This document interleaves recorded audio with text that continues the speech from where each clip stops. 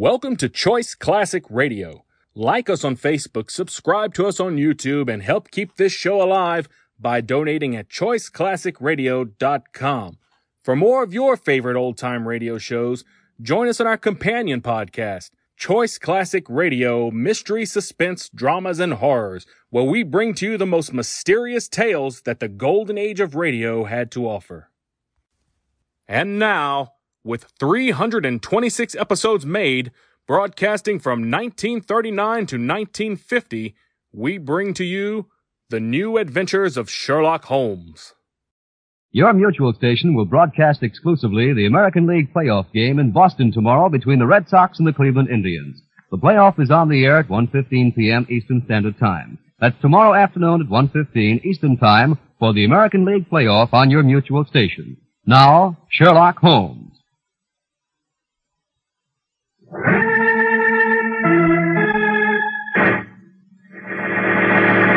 makers of Clipper Craft clothes for men and more than 1,200 leading retail stores from coast to coast present Sir Arthur Conan Doyle's immortal character, the world's most famous detective, Sherlock Holmes, starring John Stanley.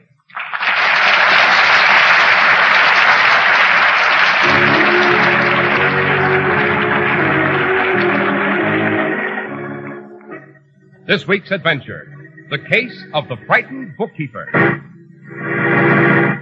I regret using my hunting crop on your hands, sir, but you are rather obstinate.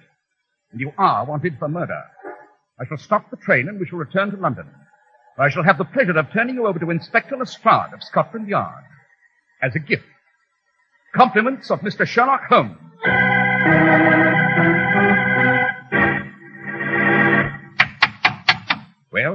Are again at the door of Dr. Watson's study, ready to hear another exciting story from the good doctor's memoirs. Ah, good evening, Mr. Holmes. Good evening, Delighted Doctor. to see you again. Uh, Dr. Watson, which of your spine-tingling adventures with Mr. Holmes do we hear about tonight? Well, it's the case of the frightened bookkeeper, Mr. Harris. It concerned a murder under fantastic circumstances, and it ended with the strangest doings in a court of law that I have ever witnessed. Well, Doctor, two things always amaze me. Uh, Mr. Holmes' case is for one, and for Ah, another... may I venture to guess what the other source of your amazement has to do with Clipper Craft clothes? It certainly does, Dr. Watson. If you think a really fine suit should cost you a young fortune, why, you'll be glad to know you're wrong. Absolutely wrong. Because you can own a suit that looks like an expensively tailored model without going haywire. Impossible? Well, just slip into a Clipper Craft suit. Study the tailoring, examine the fabric. Don't think you can afford it? Well, then glance at the price tag. No, your eyes aren't playing you a trick. The price is only forty or forty-seven fifty. You wonder how it's done? Well, listen. More than 1,200 of this country's finest independent stores, from Maine to California, have combined their vast purchasing power to keep your budget happy. That's why you'll pay only forty-seven fifty for the handsome Clippercraft worsted suit you'll hardly ever wear out. Try one on at the Clippercraft store in your community. You're bound to agree. Clippercraft's values in suits, top coats, and sport coats are flabbergasting.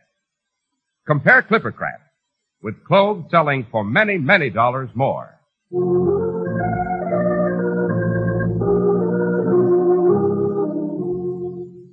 And now, Dr. Watson, just what was the frightened bookkeeper afraid of? This story, Mr. Harris, begins shortly after nine in the morning on Lombard Street. The customary swarm of office workers was dashing about, but no one was hurrying quite as quickly as our bookkeeper, Mr. Humphrey Littleton. He scurried across the street like a startled rabbit and ran into the overseas bank. He raced across the vast marble floor to his cubicle in a far corner. There, he hastened to hang his coat on a hook and wipe his perspiring brow. Then, he mounted his tall stool and opened a huge ledger. Mr. Littleton. Yes, Mr. Mason. I presume you realize that you are late. Yes, Mr. Mason. I'm, I'm terribly sorry. To be precise, Mr. Littleton, you are 18 minutes late. Yes, sir. I believe, Mr. Littleton, this is the first time in 21 years that you have been late. That is correct, Mr. Mason. The bank is shocked.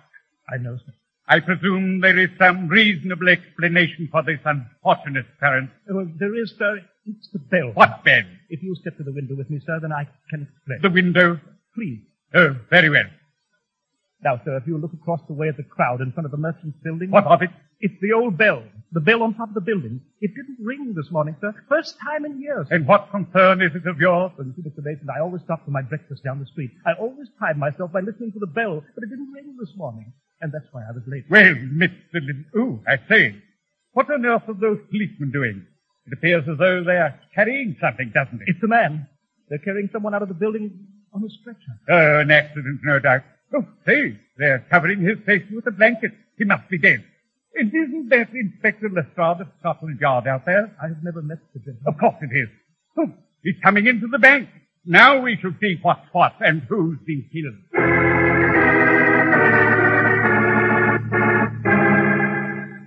Mr. Littleton, Yes, Mr. Mason. may I present Inspector Lestrade of Scotland Yard? I'm happy to make your acquaintance.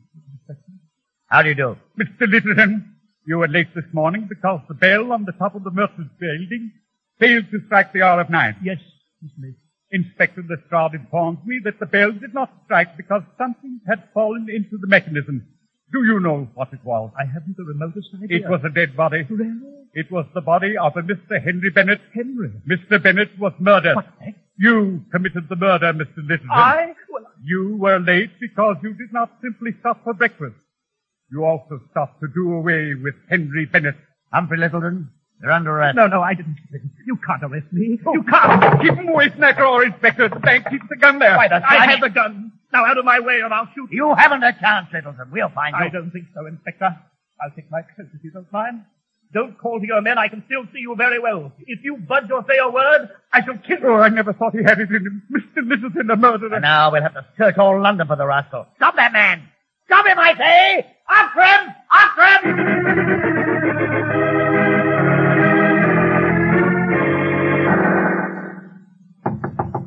All on, Fitzhugh. Good morning, Dunbar. Oh, good morning, Inspector Lestrade. Mr. Holmes. Well, Lestrade, what information do you wish to impart?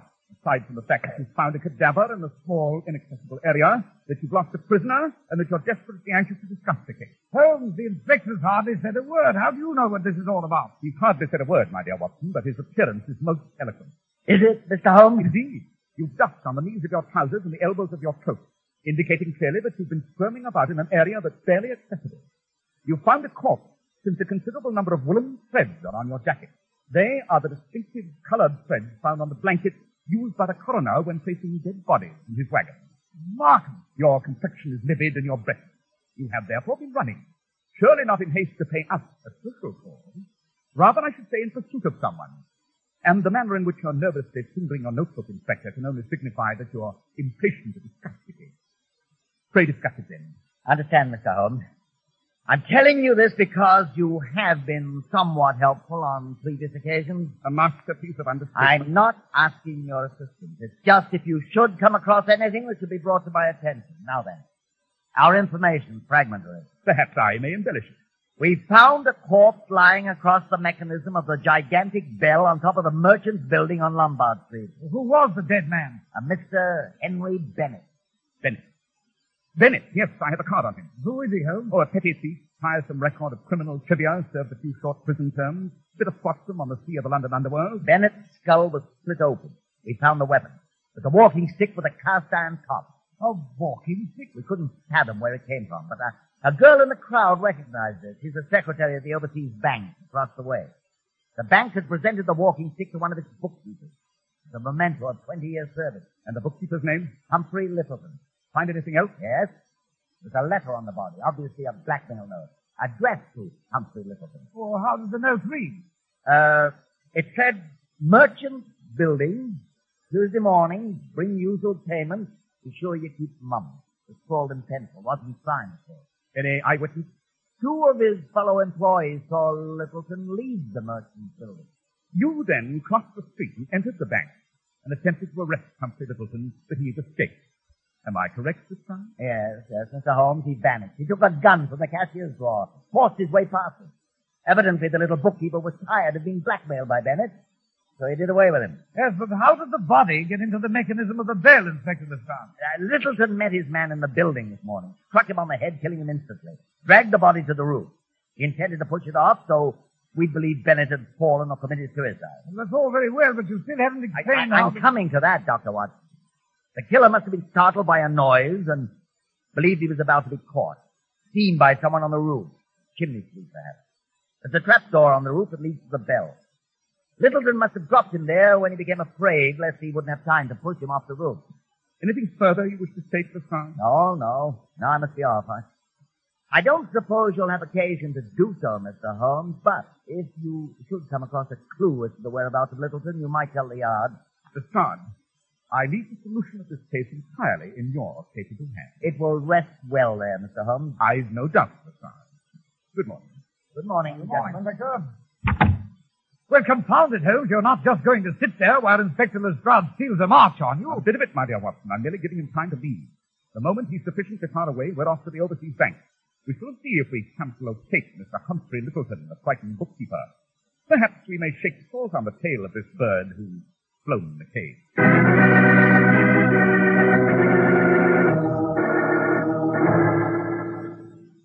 This is the photograph of Mr. Littleton, Mr. Holmes, from our files. Ah, yes, Mr. Mason. And uh, this is the cage where he works, Mr. Mason? Yes, Dr. Watson. I see. Holmes, what are you doing crawling about on the floor? Uh, Mr. Mason, when he made his escape, you say he seized the revolver from the drawer, then his coat hanging on that hook, then left the bank. exactly. I don't know how on earth he'll ever be found in all of London. Aha! Found something else? This pink pill is rolled under the desk.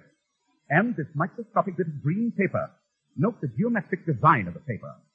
Both items are most informative. Pill, green paper. Uh, that copy of the Evening Star on the desk, Watson, please. Oh, first you find the pill and then you want to read the newspaper. What are you up to, Holmes? Ah, there we are. It's page. Mm-hmm. Excellent.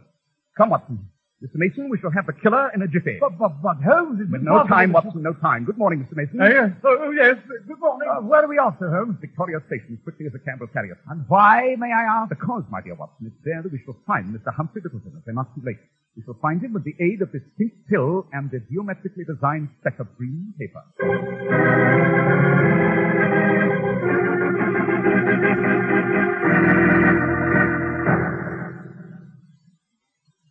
Fortunate, Watson. The train Mr. Littleton has chosen for his departure for the continent is still here at the station.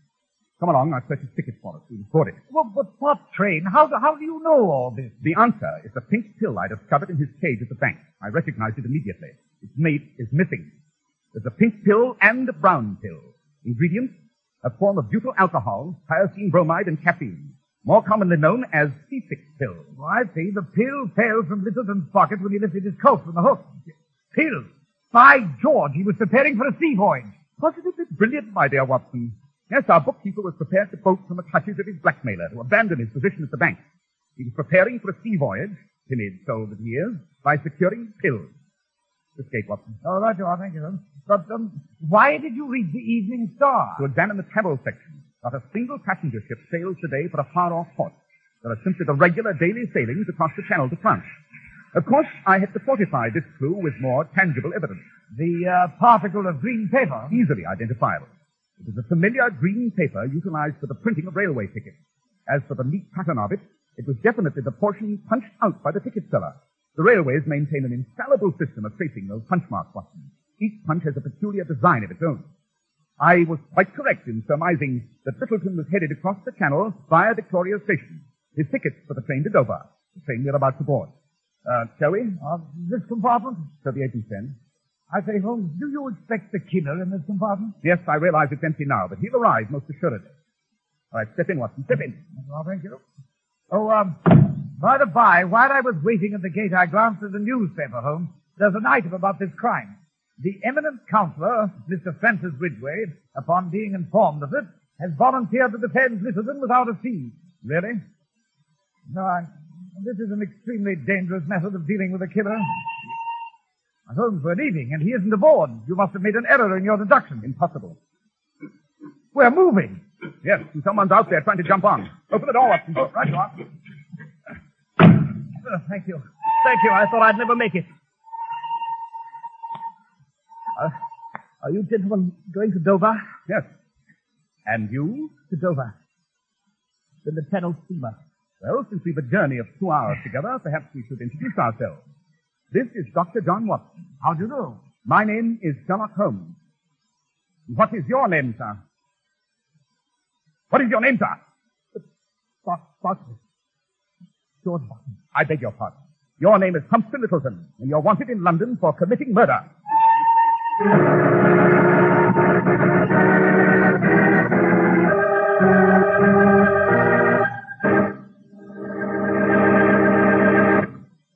Dr. Watson, Mr. Holmes was brazenly inviting disaster in challenging the armed killer, wasn't he? Ah, he certainly was, Mr. Harris. But at this point, I've an invitation for you concerning a much more pleasant topic. Won't you tell us more about Clippercraft clothes? Well, I accept the invitation gladly, Doctor. One of these days, you're going to walk into the Clippercraft store in your community and walk out wearing a happy smile and a handsome suit by Clippercraft. You'll pay only forty or forty-seven fifty, depending on your choice. But you'll deserve all the admiration your friends will voice, because yours will be an investment in one of America's greatest clothing values. Yes, Clippercraft is just about the finest clothing value America can offer you. You see, more than 1,200 fine stores from coast to coast have concentrated their enormous buying power to really put the brakes on your high cost of living. Why, it's clear as daylight that a project of Clippercraft's scope keeps Clippercraft's great tailoring plants operating at full speed the full year round. You get the savings this money saving plan makes possible. Yes, Clippercraft suits are phenomenal values at only 40 and 47.50. That's why men who know insist on Clippercraft clothes. So be sure to visit the Clippercraft store in your city. These leading stores in the metropolitan area are proud to add their names to Clippercraft in your suits, top coats, and sport jackets. In Manhattan, John Wanamaker Men's Stores, Broadway at 8th and 67 Liberty Street. Saks 34th, Broadway at 34th. In Brooklyn, Abraham and Straus. In Newark, New Jersey, Boulevard Men's Shop, Kresge Newark. And in Jamaica, the B&B Clothes Shop, 16408 Jamaica Avenue.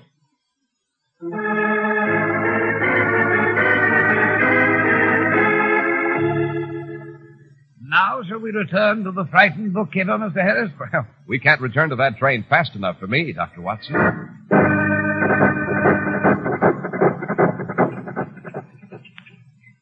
Well, you remember that Holmes and I were in the compartment of the Dover train, face to face with Humphrey Littleton, the murderer. Holmes had just identified him.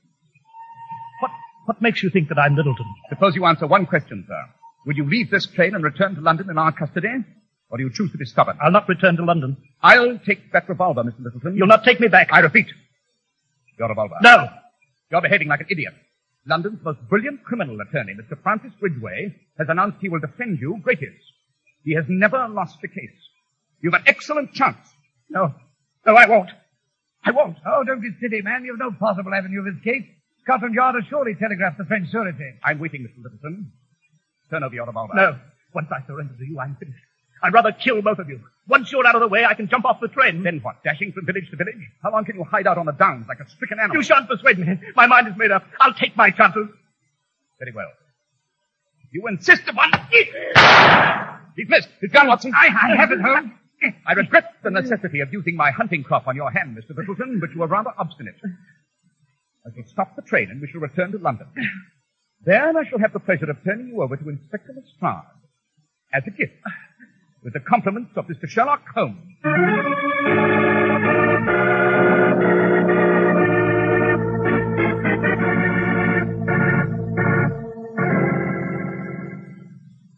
Well, Holmes, the morning newspapers say that Littleton is safely locked in prison. I must say you handled that case with astonishing speed. I've, I've hardly even had time to catch my breath and it's over. It's not over, Watson. What do you mean it isn't over? I'd say from the moment the murder was committed, events moved with a relentless logic. I hardly employ the word logic, my dear Watson. That's what disturbs me. So hurry, finish your breakfast. We're off to the Merchants Building. But why, Holmes? To visit Mr. Francis Ridgway, counsel for Littleton's defense.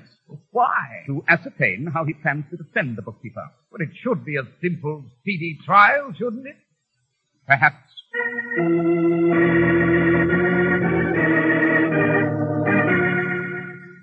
I'm delighted that you've dropped in here to my office, Mr. Holmes, and Dr. Watson. Oh, thank you, Mr. Ridgway. It is an incredibly exquisite office. Those draperies, magnificent rugs, most striking. Don't you agree, Holmes? Yes, yes, quite. May I ask, Mr. Ridgway, what sort of defense you plan for Humphrey Littleton? Well, there isn't a scrap of evidence on his behalf, Mr. Holmes, and he admits he was being blackmailed by the dead man. You see, uh, Littleton once needed money desperately for his wife, who was ill. He took some from the bank and juggled his books to cover up. Bennett knew about it, but Littleton denies committing the murder. Says he was never on the roof of the merchant's building. Says his walking stick was stolen from his flat. No one will believe him, I'm afraid. I don't suppose you've learned anything that would help me, have you? No, I have not. To make matters worse, he bought that ticket to France. He claimed he wanted to chuck his position and run away just to avoid the blackmailer.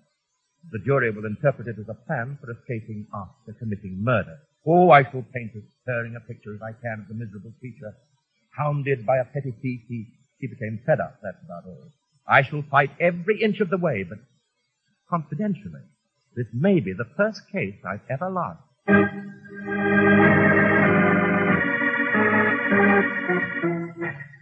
It's two in the morning, Holmes. Where the dickens have you been? I couldn't wait for you to return from the hospital, Watson. My mission was urgent. Yes, but where were you? I've been searching for evidence that might interest Mr. Ridgway. Oh, and did you go on this urgent mission carrying that pair of shoes under your arm? I did not start out on the mission that way, no. Really, you do perform the most extraordinary antics. Why the pair Littleton's of... trial begins tomorrow.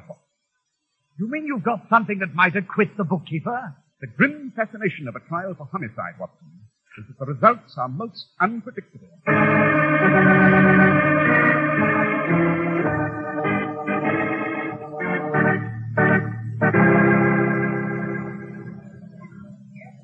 Silence! Silence in the court! Here you are, Holmes. Two seats. There's Littleton in the dock. See him and Francis Ridgway in the far corner? Quiet, Watson. Parker be assize is about to read the indictment to the jury. Gentlemen of the jury, the prisoner at the bar, Humphrey Littleton, is indicted, and the charge against him is murder. Upon this indictment, he has been arraigned. Upon his arraignment, he has pleaded that he is not guilty, and has put himself upon his country, which country you are. It is for you to inquire whether he be guilty or not, and to hearken to the evidence. The Crown charges that on the morning of July 19th, Henry Bennett was ruthlessly attacked and died instantaneously when he was struck upon the skull by... Mr. Francis Ridgway! Good heavens. Silence! Sit down, Holmes. What the... Silence in the court! Mr. Holmes, what is the reason for this disturbance? May it please your lordship, gentlemen of the jury. Henry Bennett was not murdered by Humphrey Littleton, the prisoner in the dock, but by Mr. Francis Ridgway, counsel for the defense. Silence! Silence! May it please your lordship, I do not know why Mr. Holmes has chosen to interject this fantastic One assertion, but I... moment, Mr. Ridgway. Mr. Holmes, My lord. you have on many previous occasions made a substantial contribution to the enforcement of law and order. The court will entertain a statement. I protest, your lordship. Go on, Mr. Holmes. Tell them. Tell them I didn't do it. I didn't do it. God help me, I didn't do it. Silence! The court will entertain a statement by Mr. Sherlock Holmes. Mr. Ridgway, it originally struck me as curious that a counsel possessing your perfect record should volunteer for a case so obviously doomed to defeat. Could it have been that you wanted to have the case because you wanted to lose it? Idle speculation. I visited your office to develop my theory. Dr. Watson admired your draperies, but I noticed a black spot on your rug. It was tar. Although you may have vigorously cleaned the remainder of your office, you neglected to remove that one speck. Well, go on, Holmes. Go on. Where did the tar come from, Mr. Ridgway? Well, the murder was committed on an extremely hot day. On the roof of the merchant's building, the tar melted. It came off on your shoes. After killing Bennett on the roof, you returned to your office soiling your rug. Preposterous. Conjecture on your part, sir. Last night, I was on the roof of the merchant's building. I made plaster casts of the killer's footprints. I then paid a midnight visit to your deserted office, Mr. Ridgway. I found a pair of your shoes in a closet. The casts, which I'm prepared to submit as evidence, match your footprints perfectly. Inconclusive evidence. Utterly inconclusive. In addition, in addition, I took a sample of the tar from that same roof and compared it with a sample from the tar on your rug. I have here a report based on experimentation at home to the effect that both samples match perfectly in chemical content. Proof. I demand proof, sir, that I actually committed the murder. And you shall have it. There is a young gentleman waiting outside at my request. His name is Bob Dexter. What is most important about this young gentleman, however, is not his name. It is his occupation. Mr. Dexter is a chimney sweep.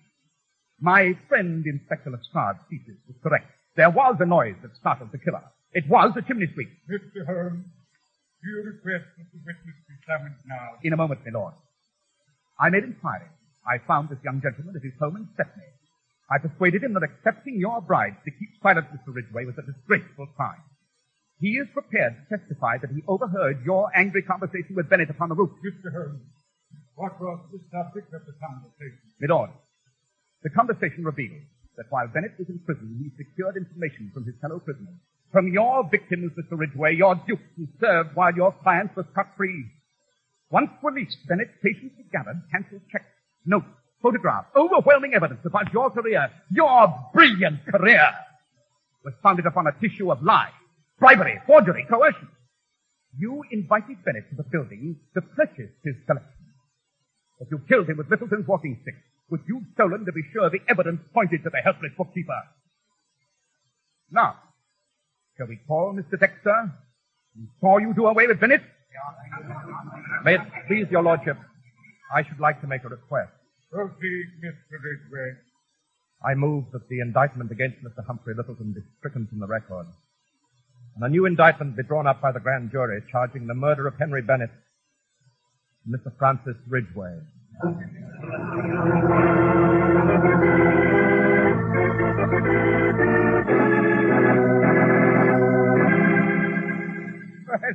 By Jove, Holmes, now that you're relaxed in your chair with your pipe, you must take the time to tell me precisely what did happen on the morning of the murder. I, I confess I'm still a bit puzzled. It's painfully obvious, Watson. Bennett was blackmailing both the bookkeeper and. Ridgway. Ridgway knew it, Littleton didn't. Ridgway sent a message to the bookkeeper, enticing him to the merchant's building that morning. He'd previously stolen the walking stick. I see. But before the bookkeeper was due to arrive, Ridgway killed Bennett with Littleton's walking stick. Then Littleton came along, innocently enough, expecting merely to make his regular, insignificant payment to Bennett. He saw a crowd, became frightened, and dashed off to work at the bank. Well, I'm still amazed at how you arrived at the proper solution. Confounded, Holmes. How do you do these things? Elementary, my dear Watson. Elementary.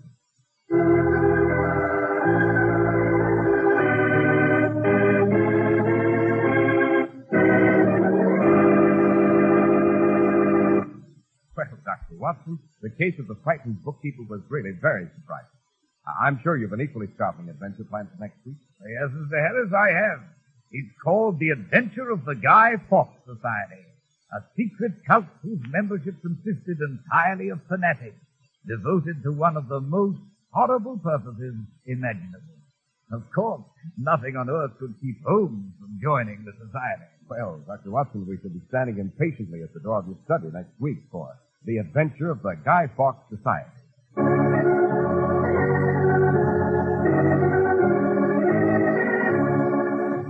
The makers of Clipper Craft clothes and more than 1,200 stores from coast to coast have brought you another in the new series of broadcasts featuring the world's most famous detective, Sherlock Holmes.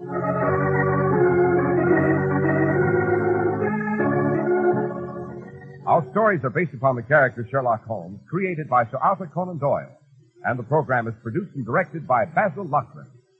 Sherlock Holmes is played by John Stanley, Dr. Watson by Ian Martin. This week's story was written by Howard Merrill, with special music by Albert Buhrman.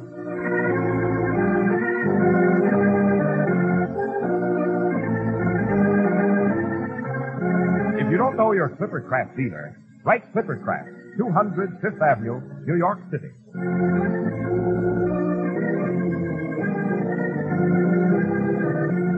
Be sure to listen next week to Sherlock Holmes in The Adventure of the Guy Fawkes Society.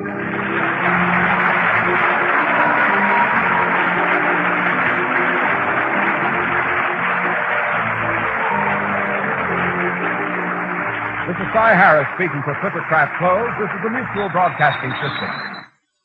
With your dial set at 710, you're all set for Behind the Front Page with Gabriel Heatter, which follows in just a moment. For departure. It's Eastern Airlines for double dependability.